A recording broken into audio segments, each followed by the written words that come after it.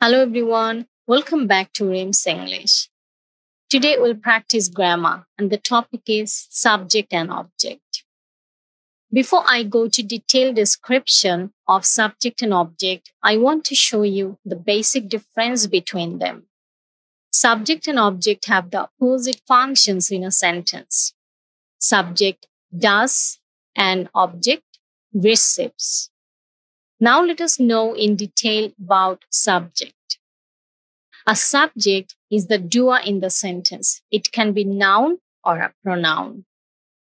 Someone who does the action or something that does the action in the sentence is called a subject. As I mentioned earlier, subject is the doer because subject does the action or activity in the sentence. Now let me give you some examples of subject. He is painting the wall. Here, painting is the main verb. And who is doing this? He. So he is the subject here because he is doing the action in this sentence. The project is absolutely fine. Is, this word is the verb here. Is is the verb of the project. So the project is the subject here because project is doing the task in this sentence. The dress is not see-through. Is is the verb here and it is the action of the dress. So the dress is the subject because we are talking about the dress in this sentence and it is doing the action here. The dog eats and sleeps all day. So who eats and sleeps? The dog. So the dog here is the subject because the dog is doing the actions. Now let me talk about object. An object is the receiver in the sentence. It can be a noun or a pronoun someone who receives the action or something that receives the action in the sentence is called an object. It is totally the opposite of subject.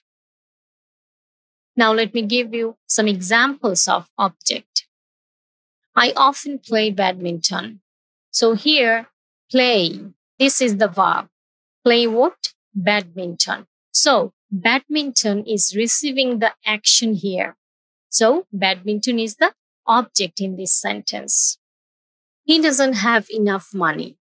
Here, have is the main verb and money is receiving the action that is have. So money is the object in this sentence because money is receiving the action that is have. The painter loves painting.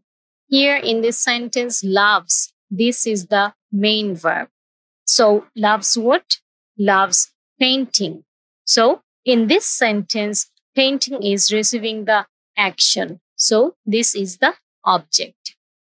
Can you give me the pen? Here we have to focus on two objects. Me, the pen. In this sentence, give is the verb and the pen is receiving directly the action. So the pen is the object here. This is called direct object. And me, give me. So who is getting the pen? Me. So this is called indirect object. So in the same sentence, you can find direct object and indirect object. Now let me show you how you can get subject and object both in the same sentence. I will eat an ice cream now. I hope you got the answer already. I is the subject here because I is doing the action. And ice cream, this is the object here because this is receiving the action. And what is the action? Eat. Eat is the action in this sentence. Father sent his friend a letter. Here in this sentence, Father is the subject because Father sent it. Father did the action. And our letter is the object because our letter received the action that is sent. Sent what? A letter. So our letter is the object. In this way, you can find subject and object in the same sentence. But remember one thing, it's not that all the time you will find subject and object both present in the sentence. Sometimes a sentence can be formed without object also.